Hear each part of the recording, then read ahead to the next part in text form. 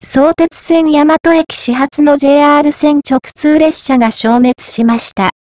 相模鉄道は、今日15日をもって、大和駅始発の JR 線直通列車の運転を終了します。相鉄線と JR 線の直通運転は、2019年11月より始まりました。海老名から新宿間を、主に一部列車は川越線とも直通運転しており、現在は46往復計92本が運転されています。相鉄線からの JR 線直通列車は、泉の線からの設定はなく、すべてが相鉄本線からのみの運転です。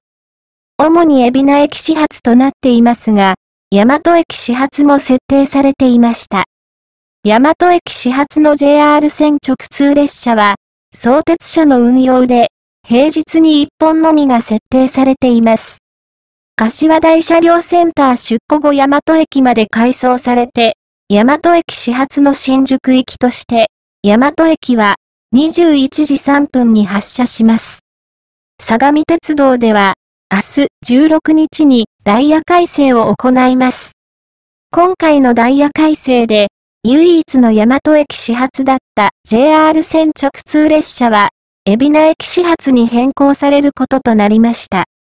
このため、大和駅始発の JR 線直通列車は、昨年春のダイヤ改正で設定されてから約1年で消滅することとなります。これで、3月15日の KAB ニュースを終わります。